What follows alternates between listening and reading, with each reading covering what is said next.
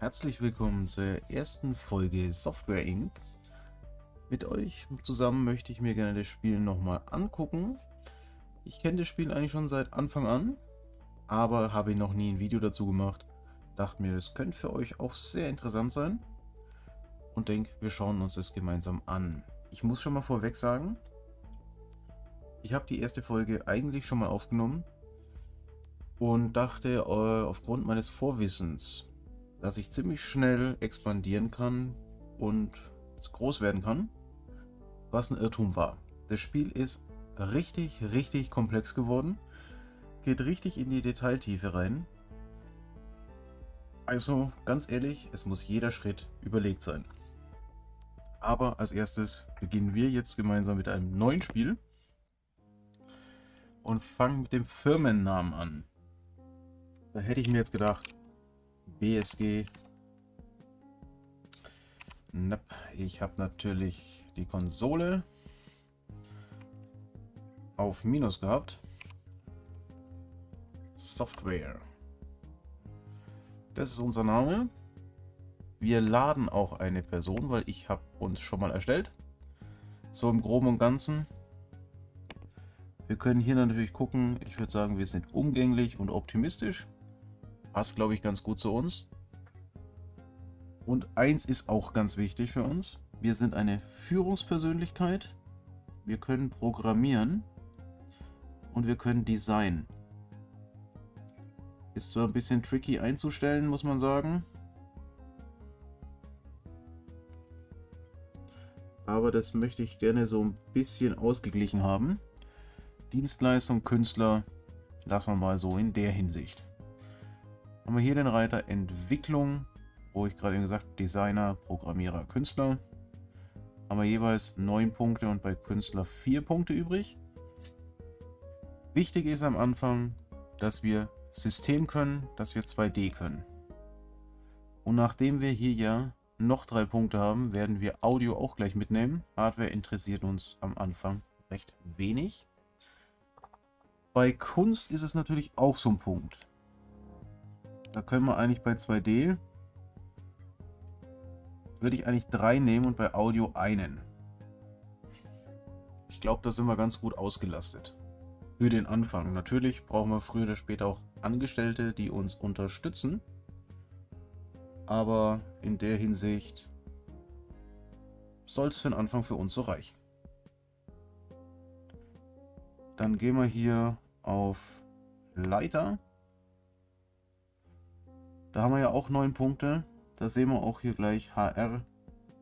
Bearbeitet Beschwerden und Gehälter. Müssen wir auf jeden Fall machen. Verwaltet Weiterbildung machen wir auch.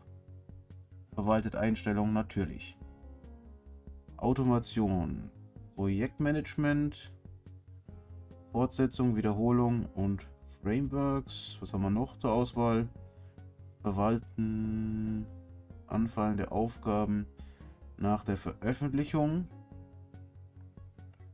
Sozialisierung fördert Teamkomplex das auf jeden Fall. Umgang mit den Angestellten pflegen können wir auch nehmen. Verbesserte Effektivität mit Support- und Marketingaufgaben. Ja, brauchen wir von Anfang vielleicht auch.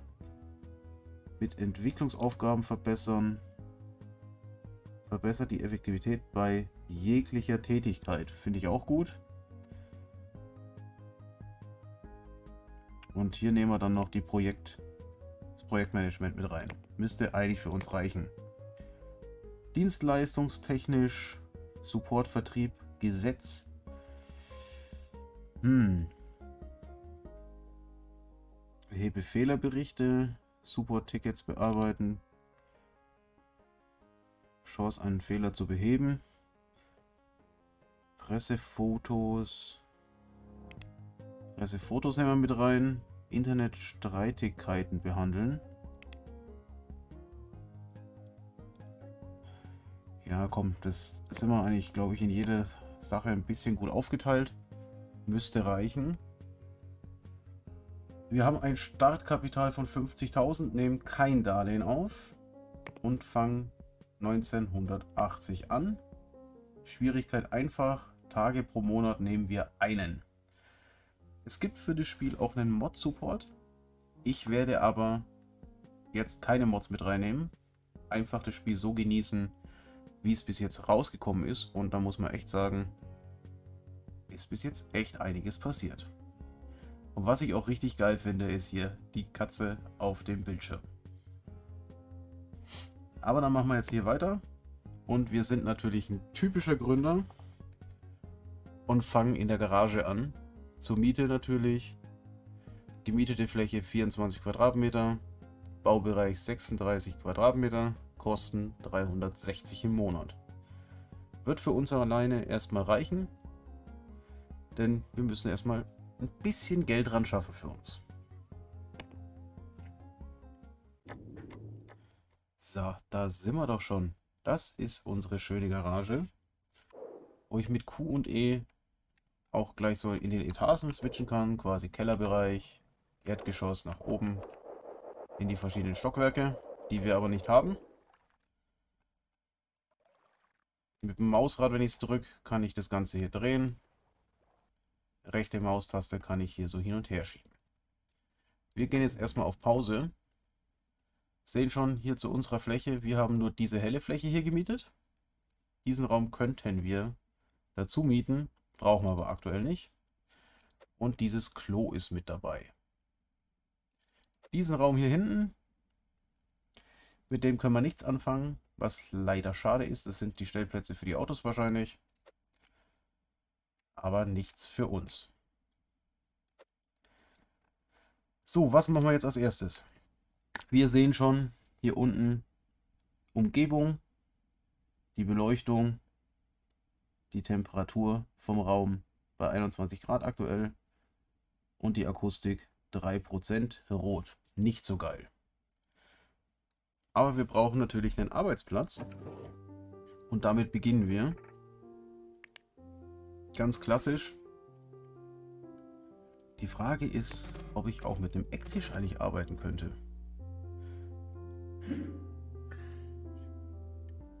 Nee, ist ein Schmann. Wir fangen mit einem normalen Schreibtisch an. Und wir setzen uns, denke ich... Ja, ich glaube, wir setzen uns hier direkt vors Fenster, dass wir ein bisschen sehen. Wenn wir draufdrücken auf den Tisch, können wir verschiedene Stile auswählen. Nehmen wir mal den dunkleren, können aber auch hier die Möbelfarbe an sich ändern mit der Farbskala. Aber ich finde den jetzt so ganz schick. Wir brauchen einen Bürostuhl für unseren Kollegen, beziehungsweise für uns selber. Haben wir hier günstiger Stuhl, sehen aber schon Ergonomie schlecht, Komfort schlecht, Haltbarkeit 24 Monate. Hm, nicht so gut. Hier der normale Bürostuhl kostet 150, auch schlechte Ergonomie, Komfort hat er allerdings, Haltbarkeit 60 Monate. Aber durch das, dass wir alleine sind, würde ich echt sagen, wir nehmen einen Chefsessel. Wir sind auch der Chef. Der Stuhl hält 120 Monate. Ergonomisch. Und was? Unparteiisch, okay. Also neutral in der Hinsicht Komfort, Umgebung, keine schlechten Einflüsse. Nehmen wir. Braucht man einen Computer? Gibt es 1980 nur diesen hier, der alte Computer mehr Pixel, als man an einer Hand abzählen kann. Energie macht ziemlich viel Krach. Ja, hält 108 Monate. Entflammbarkeit 5%. Mhm. Effektivität ist ein bisschen begrenzt. 19 Dollar pro Monat. Okay, hilft ja nichts, wir brauchen einen. Dann ist noch wichtig, wir sind Programmierer. Da gibt es hier die kleinen Gimmicks dazu wo man dann auch immer sieht, Bonuseffekte, was sie bringen. Wenn man nur eins pro Tisch platzieren, Programmierer natürlich einen Taschenrechner. Mehr können wir uns jetzt an unseren Arbeitsplatz aktuell nicht machen. Wir können allerdings äh, hier eine schöne Trennwand reinmachen, wegen der Akustik, dass uns der Lärm hier nicht Ihr seht schon, es ist drauf hochgegangen auf 33%. Dass der Lärm hier von dieser Lüftung uns nicht beim Arbeiten stört. Haben wir schon, sind wir im schwarzen Bereich 47%. Da stellen wir dann auch hier nochmal eine hin. Und jetzt haben wir schon grüner Bereich 6%. Weil da hinten ist alles laut. Hier geht es auch zu den Klos. Deswegen alles, was Krach macht, kommt hier hinter. Und hier vorne haben wir unsere Ruhezone. Ich möchte auf jeden Fall noch eine Pflanze haben. Denke ich mal beides neben die Fenster. Schadet nicht.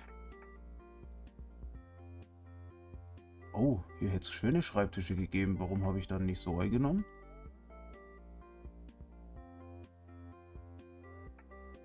Nee, aber das ist doch normalerweise von dem Mod. Die ich aber gar nicht ausgewählt habe. Nee, die nehmen wir nicht. Muss ich nach der Aufnahme nochmal gucken, dass die rausfallen. So, eine Wandlampe hätten wir noch.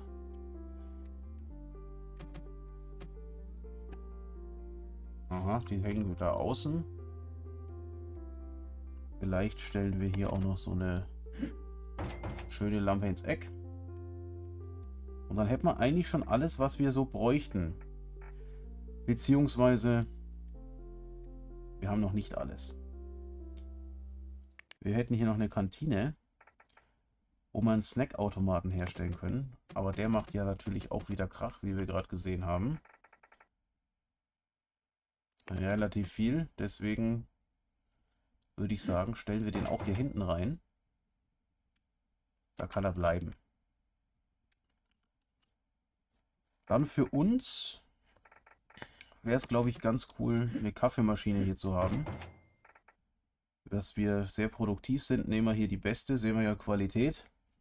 Umgebung, aber macht auch Krach. Aber gut, nur in der Zeit, wo wir halt was nehmen. Ist aber sonst sehr cool. Machen wir gleich hier drauf. Die Uhr bringt uns auch Umgebung. Deswegen kommt die auch mit hin. Und ich würde noch ein Bild mit aufhängen. Weil wir müssen ja hier nicht äh, nur Abstriche machen, nur weil wir alleine sind. Wir sollten uns ja beim Arbeiten hier auch wohlfühlen. So, wie ist denn das hier? Genau, da kann ich nochmal eine Pflanze hinstellen. Sieht von vornherein besser aus. Und dann haben wir jetzt aber wirklich eigentlich alles, was wir bräuchten. Oder sollen wir uns noch eine Couch reinstellen? Ne, Bücherregal. Warte mal. Bücherregal. Bringt auch noch Umgebung. Das stellen wir jetzt einfach... Habe ich hier noch irgendwo Platz? Hm. Das stellen wir jetzt hier vors Fenster. Wir direkt so. Muss es immer aufgeräumt sein. Gut. Dann sind wir jetzt hier durch, haben unser erstes Büro eingerichtet. Warte mal, das machen wir, wie machen wir denn das am blödsten, dass ich hier alles so drauf bringe?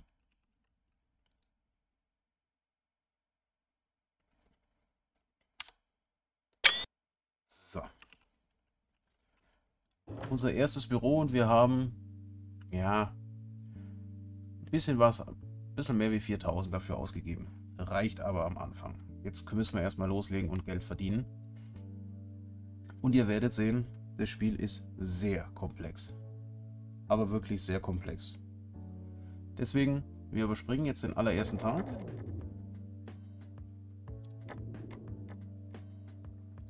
Ah, natürlich bin ich jetzt wieder doof gewesen.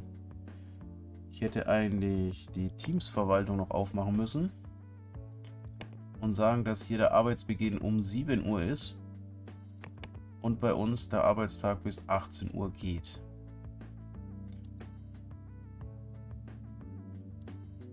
So.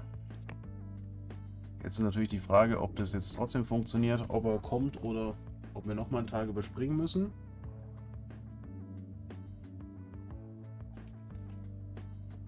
Aber sollte lang.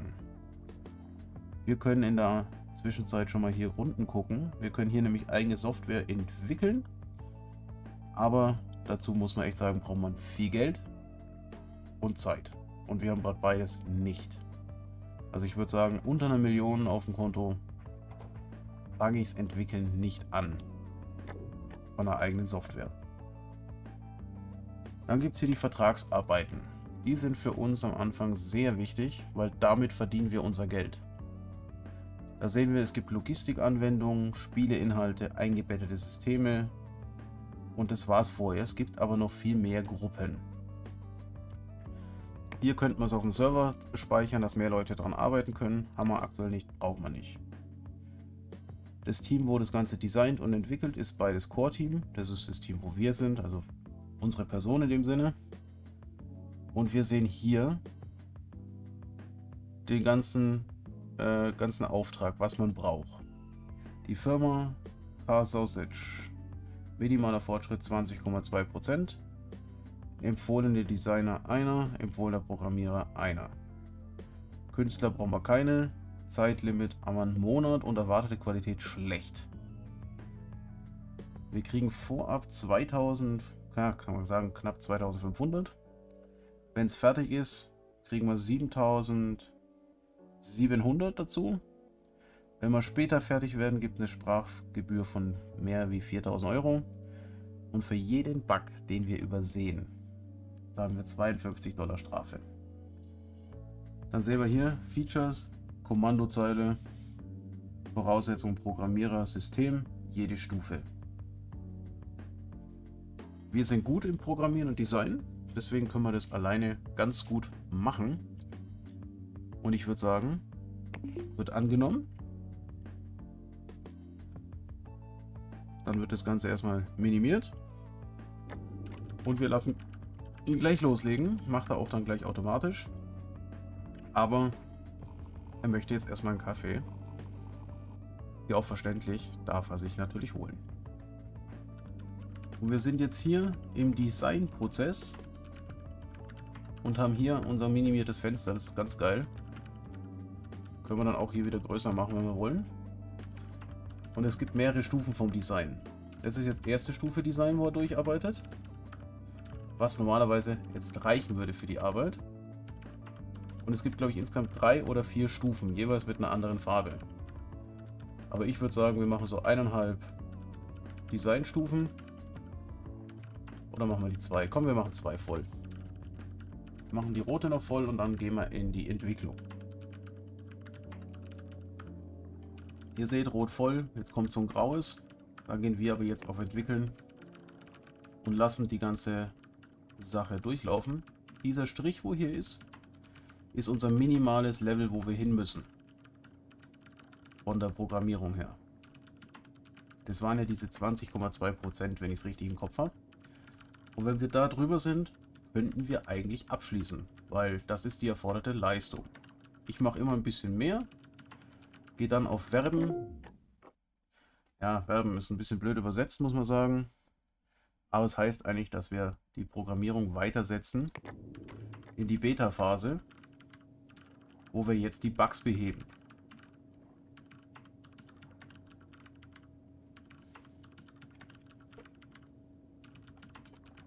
Wie wir ja gelernt haben, umso mehr Bugs wir haben, umso mehr Geld zahlen wir Strafe.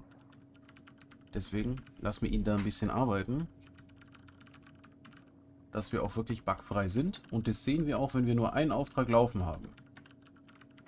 Kommen dann so Schlafsymbole, so Zs über seinem Kopf wenn er fertig ist und alle Bugs behoben hat. Werden wir aber gleich sehen. Und wir hoffen natürlich, dass alles gut läuft, dass wir den vollen Betrag gut geschrieben bekommen und natürlich hier auch unseren Ruf mit aufbauen können. Weil aktuell haben wir äh, Stern 1. Dies ist dein Ruf in der Softwarebranche. Da sehen wir jetzt die Zs. Jetzt ist er fertig. Jetzt hat er keine Bugs mehr. Es waren nur drei da der Softwareindustrie. Jeder Stern wirkt sich auf die Qualität der Bewerber, Verträge und Abkommen aus und darauf, wie viel Tochterunternehmen du besitzen kannst. Also das heißt, wir sollten da schauen, dass wir ziemlich weit hochkommen. Damit verdienen wir umso mehr Geld. Und das wäre halt für uns am Anfang echt rentabel. Und umso besser können wir auch unsere Sachen vermarkten durch das, dass wir jetzt hier fertig sind, er ist auch fertig, gehen wir jetzt einfach auf mhm. Fertigstellen. Dann fragt er uns nochmal, bist du sicher, dass du veröffentlichen möchtest? Ja, natürlich möchte ich. Dann haben wir hier oben die Meldung Vertrag erfüllt für einen Wert von 10.203 mit außergewöhnlicher Qualität. Da können wir jetzt auch hier nochmal das Vertragsfenster aufmachen. Hätte ich jetzt auch über die kleine Schaltfläche machen können. Sehen wir hier unten abgeschlossene Verträge. Können wir draufklicken. 10.203 bekommen oder reingewinnen. Status erfüllt Februar 1980. Hier drüben haben wir das Einkommen, was wir vorab gekriegt haben. Strafe für Fehler 0. Verzugsgebühr 0. Strafe für Unvollständigkeit auch nichts. Strafe bei Abbruch haben wir auch nichts bekommen. Reingewinn, Qualität außergewöhnlich. Abgeschlossen ein Monat früher als wir mussten. Ist natürlich für uns schon mal gut. Und wir sehen auch hier schon, der zweite Stern fängt schon so leicht grün an. Und so müssen wir halt weitermachen. Deswegen sage ich jetzt als nächstes eingebettetes System her. Und wir nehmen auch gleichzeitig noch ein zweites mit dazu. Wir müssen halt immer aufpassen, dass wir das hier von dem Ganzen her erfüllen können. Designer, Programmierer. Und ich möchte jetzt einfach so nach und nach mit euch testen, wie viele Aufträge ich dem gleichzeitig zumuten kann, dass er die abarbeiten kann. Und dann geht es hier wieder weiter. Und solange die Buchstaben und Zahlen, je nachdem was er hat, über dem Kopf grün sind, ist immer alles gut. Der Vorteil ist bei euch selber. Die müssen nicht aufs Klo, ihr müsst nicht essen. Und so viel ich es noch im Kopf habe, können wir auch nicht gestresst werden. Das heißt, wenn der 10 Arbeiten hat, gleichzeitig juckt es den genauso wenig. Bei den Angestellten hingegen ist es immer ein bisschen anders. Da muss man wirklich aufpassen. Wir können auch hier oben aufs i gehen und schauen, was los ist. Was braucht man denn? Qualität katastrophal. Dann können wir auch hier knallhart nach der ersten Stufe reingehen. Da ist auch katastrophal. Entwickeln wir auch gleich nach der ersten Designstufe. Weil dann verschwenden wir keine Zeit und können dabei mehr Aufträge abschließen. Und wir sehen schon, wir sind jetzt 10.000 drüber über dem, mit dem wir angefangen haben. Also haben wir eigentlich unser Büro schon bezahlt. Und das müssen wir halt jetzt so lang machen mit den Aufträgen. Ich sag mal, bis mal knapp. Ich würde mal maximum oder minimal 500.000 sagen. Dann könnten wir vielleicht hier aus dieser Mietgarage ausziehen. Ein eigenes Grundstück kaufen, kostet uns 50.000 und ein eigenes Büro drauf bauen. Darauf will ich nämlich hin, dass wir unser eigenes Büro haben, was uns selber gehört und dann erst mit weiteren Mitarbeitern anfangen. Obwohl wir uns eigentlich hier auch einen zweiten Mitarbeiter zur Unterstützung für die Aufträge hinzuholen könnten. Aber das muss wir noch überlegen. Geht jetzt erstmal darum, dass wir unser Geld verdienen. Und hier sind wir schon wieder überall drüber. Deswegen gehen wir jetzt hier gleich weiter, dass er den Bugs noch beheben kann. Dann können wir vielleicht noch ein paar Aufträge heute durchjagen. Solange wir welche haben.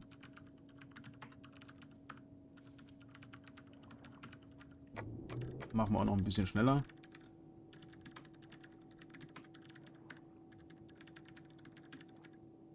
Weil wir haben ja schließlich Dienst bis 18 Uhr. Da könnte schon noch ein bisschen was gehen.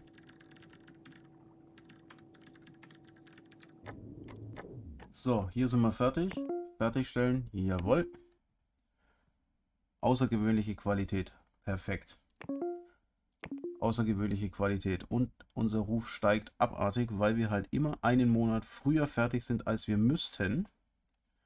Und das ist halt wirklich genial. Wir sehen auch hier, warte mal, wir machen es so. Ja, das sind die anderen zwei. Auch alles erfüllt, keine Strafgebühren. Genauso hier. Und immer dieses mit einem Monat früher bringt uns, glaube ich, richtig fett Reputation hier oben. Deswegen würde ich fast sagen, wir haben jetzt 15 Uhr. Wir kriegen das, glaube ich, schon hin. Komm, wir nehmen jetzt hier noch die zwei an. Schauen, wie weit wir kommen. Wir können sie ja morgen immer noch abgeben. Ist ja gar kein Thema. So, und weiter geht's, mein Guter. Wir können aber gleich nochmal gucken, mittelmäßig. Dann müssen wir zwei Dinger durchlaufen lassen. Katastrophal. Hier bloß ein. Also unten eine Designstufe, oben machen wir, machen wir zwei.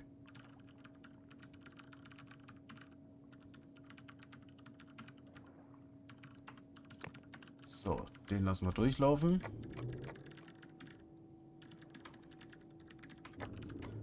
Da können wir auch gleich zur Backbehebung gehen. Und jetzt nehmen wir den oberen auch gleich mit rein. Oh, vielleicht kriegen wir die zwei ja doch noch durch. Und du gehst auch in die Backbehebung. Es wäre cool, wenn wir die jetzt noch fertig kriegen. Wir haben die beide fertig? Zum Feierabend. Wahnsinn. Mach mal.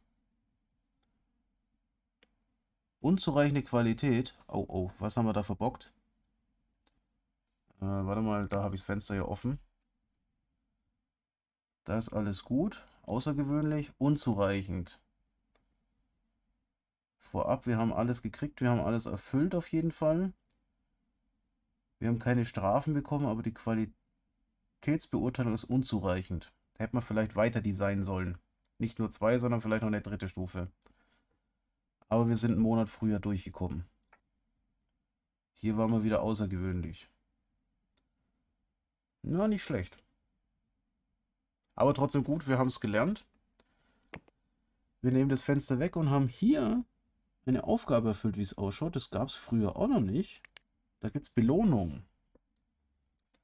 Machen wir mal das Fenster ein bisschen größer. Verdiene 50.000 durch Verträge. Oh ja, stimmt, wir haben 50.000 am erst, im ersten Monat sozusagen verdient. Für uns im Spiel ein Tag.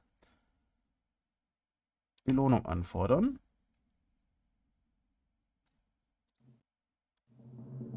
Ah, da müssen wir draufdrücken. Ergonomischer Stuhl und den Yoga-Ball. Das ist ja genial. Da können wir... Ah, mit Belohnung neue Sachen freischalten für unser Büro. Das ist genial. Kauf ein eigenes Grundstück ist was. Geben Sie Ihr erstes Produkt frei. Okay. Da bin ich gespannt, was wir da nebenbei machen. Wir schauen uns aber jetzt mal schnell den Stuhl an. Ergonomie gut, Komfort, Umgebung. 60 Monate.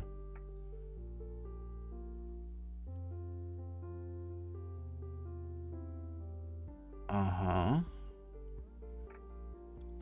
Weißt du was? Da gibt's, wird heute mal ein Stuhl verkauft. Und er kriegt einen neuen Stuhl. Aber ich muss sagen, in Rot hat er mir besser gefallen, deswegen wird der neue auch rot. Dann hat er hier, kann er nämlich gleich hier auf einem neuen Stuhl sitzen. Hier sind wir bombisch, äh, bombastisch gut weitergekommen. Und schauen wir mal, was uns am nächsten Tag erwartet. So, jetzt können wir überspringen. Und jetzt müsste heute normalerweise um 7 Uhr kommen. Und anfangen. Ja, das klappt nicht. Ah, doch, da kommt er. Ein bisschen später ist ja auch der Chef. Und dann gucken wir mal, was wir heute für Aufträge zur Verfügung haben. Wir sehen schon, es gibt jede Menge, wo mehr Geld bringen. Müssen hier drauf achten. Kommandozeile 24, katastrophal. Wird angenommen. Da ist schlecht. Können wir auch mit annehmen. Und wie sieht es hier aus? Auch katastrophal. Bomben, komm. Wir nehmen jetzt drei auf einmal an. Und lassen ihn mal loslegen. Jetzt geht er wahrscheinlich wieder am PC. Macht kurz was. Und steht dann gleich wieder auf zum Kaffee holen, oder? Jo, dachte ich mir doch. Ich kenne uns doch.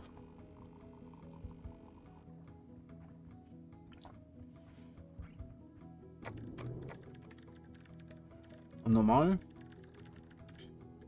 sollte eigentlich eine Designstufe reichen. Wir machen jetzt aber grundsätzlich zwei. So, entwickeln, entwickeln, entwickeln. Und drei Sachen gleichzeitig? Das läuft doch. So, du gehst in die Bugfixing. Du kannst auch zum Bugfixen geschickt werden. Und du jetzt auch. Dann los. Wir heben mal alle Bugs. Dass wir richtig schön Geld machen können.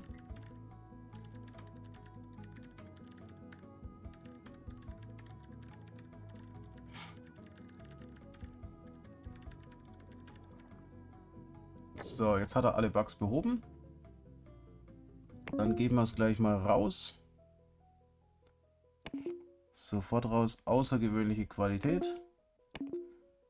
Außergewöhnliche Qualität. Und außergewöhnliche Qualität. Perfekt. Genau so habe ich mir das vorgestellt. Man sieht, er braucht dadurch aber doch ein bisschen länger. Aber wir kriegen deswegen bestimmt trotzdem unsere Arbeiten hin. Die zwei machen wir jetzt noch. Und wenn wir noch Zeit haben, nehmen wir die hier noch mit rein. Warte mal, wir gehen hier mal nach Datum. Immer die neuesten nach oben bitte. Keine Strafen, keine Strafen. Perfekt. So soll es sein. Aber dann würde ich sagen, sind wir hier für die erste Folge fertig. Ich hoffe, es hat euch gefallen. Könnt mir gerne auch ein paar Tipps und Tricks da lassen. Ich kenne mich ja auch nicht komplett im Spiel aus. Nur so ein bisschen ausprobiert habe ich es bis jetzt. Und den Rest erkunde ich mit euch zusammen. Ich sage bloß vorweg, die ersten drei bis fünf Folgen werden am Stück sein. Aber keine Angst, ich setze eure Kommentare trotzdem um. Jetzt wünsche ich euch noch einen schönen Tag. Bis zum nächsten Mal. Ciao, ciao.